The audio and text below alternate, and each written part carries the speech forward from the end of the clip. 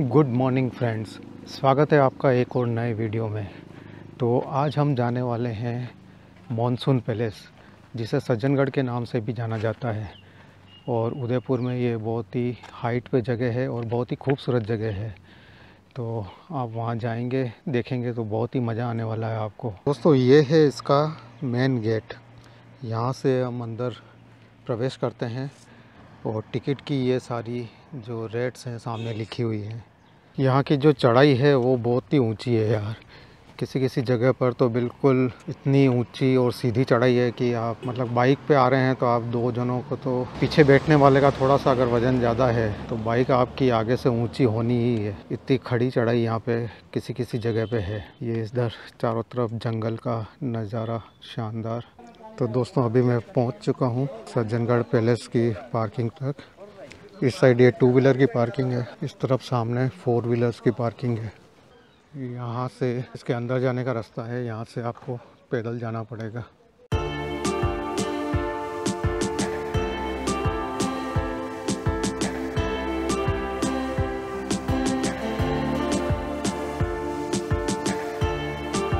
दोस्तों, ये आ गए हम इसके मेन गेट पर। यहाँ से सामने से बिल्कुल पैलेस नज़र आना शुरू हो गया है। काफ़ी टूरिस्ट आए हुए हैं आज संडे का दिन है। बाहर से इसका व्यू कुछ इस तरह से नज़र आता है। बहुत ही खूबसूरत।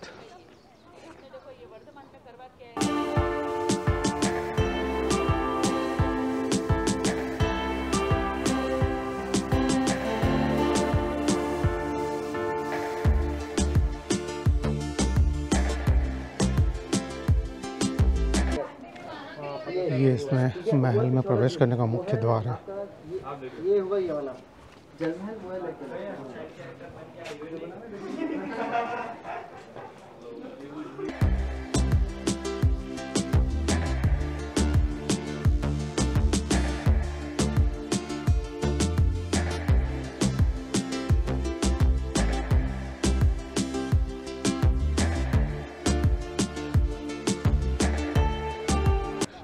इस तरफ़ नीचे की तरफ़ एक रेस्टोरेंट बना हुआ है,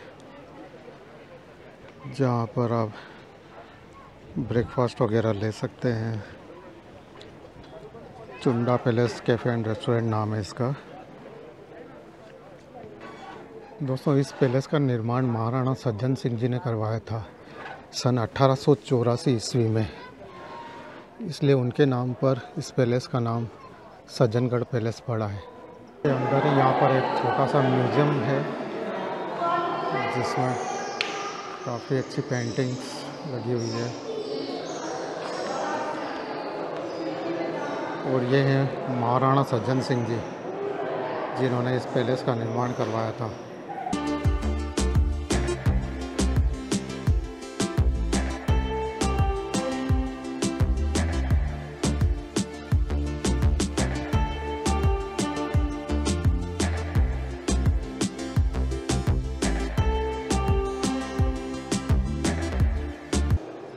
म्यूज़ियम में कुछ जानवर बताए गए हैं जो कि यहाँ की सेंचुरी में पाए जाते हैं।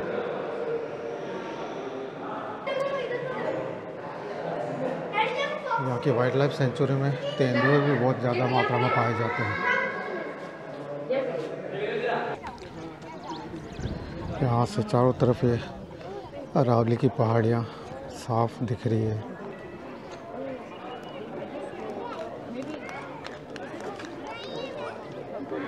इसको मानसून पैलेस भी इसीलिए कहा जाता है क्योंकि ये काफ़ी हाइट पे होने के कारण यहाँ पर मानसून में बहुत ही खूबसूरत नज़ारे दिखते हैं पूरे शहर के।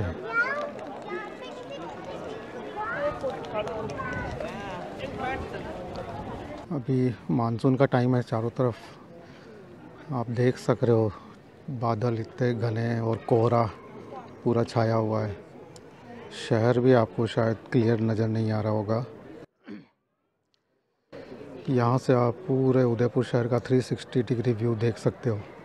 उदयपुर की जितनी लेक्स है, वो भी यहाँ से सारी क्लियर नज़र आती है। अब इसमें हम ऊपर चलते हैं टॉप पर। वहाँ से और भी ज़्यादा सुंदर नज़ारे दिखेंगे। वहाँ से एक बार ट्राई करते हैं। ये महाराणा सज्जन सिंह की एक और तस्वीर। और उसके बाद इस पैलेस का जो निर्माण पूरा करवाया था महाराणा फतेह सिंह जी।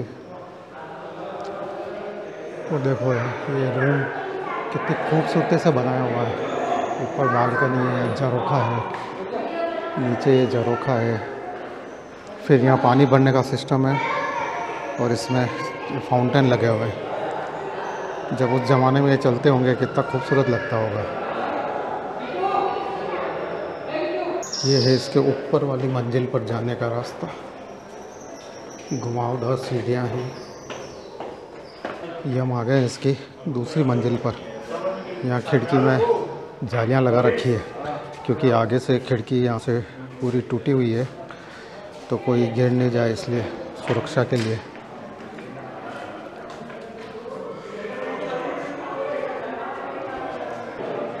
ये दूसरी मंजिल पर खिड़की पे झरोखा है, यहाँ की कारीगरी देखो है मतलब कितनी खूबसूरती से खिड़की को बनाया गया है।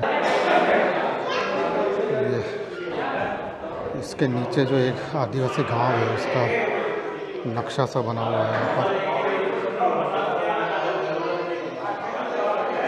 और ये सेकंड फ्लोर पे इसका एक रूम है, जिसमें चारों तरफ़ खिड़कियाँ हैं और इतनी गजब की हवा आ रही है यहाँ पर। बहुत तेज। ये ऊपर से कुछ इस टाइप का नज़ारा है। और यहाँ की खिड़कियाँ इस तरह से बनी हुई है कि बिल्कुल एसी जैसी फीलिंग आ रही है। इतनी तेज़ और ठंडी हवा। इधर से इसमें ये नीचे अंडरग्राउंड जाने का रास्ता है। ये एक पाँच मंजिला महल है, जिसमें तीन मंजिल तो ज़मीन के ऊपर है। और कहते हैं कि दो मंजिल ज़मीन के नीचे है। और जो दो मंजिल ज़मीन के नीचे है, उनके लिए कहा जाता है कि ये प्राचीन कोई इनके छुपने के लिए सुरंगों का और गुप्त ऐसे मार्ग बनाए हुए हैं।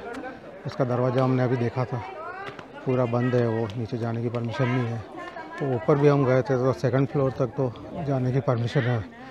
उससे आगे सारे दरवाजे बंद किए हुए हैं। इस पैलेस में आपको घूमने में तो एक घंटे से ज़्यादा का टाइम नहीं लगेगा। पर यहाँ आकर जब आप बैठेंगे तो सुबह से शाम तक वापस आपके लौट के जाने का मन नहीं करेगा। इतनी खूबसूरत जगह है।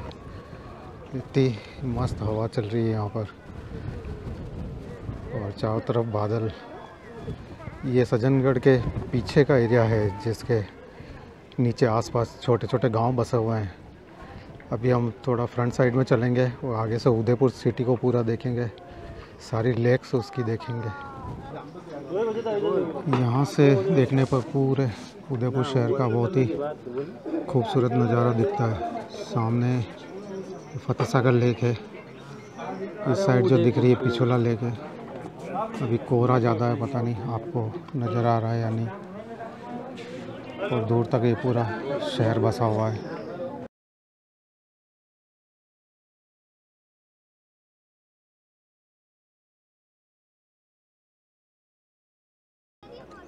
रात के समय में भी ये पैलेस बहुत ही खूबसूरत दिखता है, क्योंकि पूरे में रात को यहाँ पे लाइटिंग हो जाती है और देखने में बहुत ही सुंदर लगता है।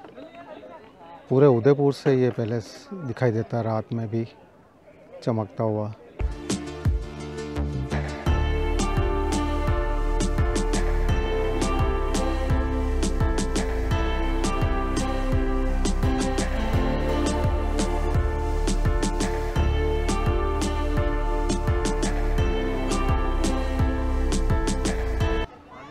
भी एक इमली का पेड़ लगा हुआ है। यहाँ मैंने इमली के पेड़ काफ़ी देखे हैं यार। सात आठ पेड़ देख लिए मैंने इमली के यहाँ पे। तो दोस्तों, अभी पैलेस में पूरा घूम लिया मैं और अभी थोड़ा नीचे आ चुका हूँ मैं। और ये पूरा रास्ता है ऊपर जाने का और यहीं से अभी नीचे आने का। और चारों तरफ़ ये जंगल है और यहाँ पे बीच में ये एक पॉइंट बना रखा है रुकने का। जहाँ पर आप थोड़ी देर रुक कर बैठ सकते हैं और नेचुरल एनवायरनमेंट का आनंद ले सकते हैं। इसके अलावा यहाँ पर एक, इसके अलावा यहाँ पर जो है, एक, जंगल में ट्रैकिंग भी होती है। वो जहाँ तक मुझे ध्यान है, अभी हर संडे को होती है मॉर्निंग में, सुबह छः बजे से। उसका भी कुछ चार्ज है, तीन सौ चार सौ रुपये तो वो आप अगर नेचर लवर हैं तो आप वो ज्वाइन कर सकते हैं। तो जंगल में इधर पूरा ट्रैक बना हुआ है उसमें। आपको ट्रैकिंग कराई जाती है और फिर नीचे उधर कहीं गाँव में वो ट्रैक ख़त्म होता है। वहाँ से वापस गाड़ी में इसके मेन गेट पर आते हैं आप। छोटा सा मचान सा बना हुआ है यहाँ पर। यहाँ से चढ़कर देखें, ये पूरा रास्ता जा रहा जंगल की तरफ़। पूरा ट्रैक है। और ये जो जंगल है दोस्तों इसको सज्जनगढ़ अभ्यारण्य, सज्जनगढ़ वाइल्ड लाइफ सेंचुरी बोला जाता है।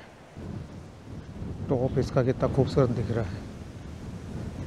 हवाएँ बहुत ही ठंडी और तेज़ चल रही है, बहुत ही मस्त माहौल हो रहा है। दोस्तों, अब मैं वापस नीचे आ चुका हूँ और ये सामने मेरे पीछे वही गेट है, जहाँ से हम ऊपर आए थे। और आज का वीडियो यहीं समाप्त करते हैं। आशा करता हूँ आपको पसंद आया होगा।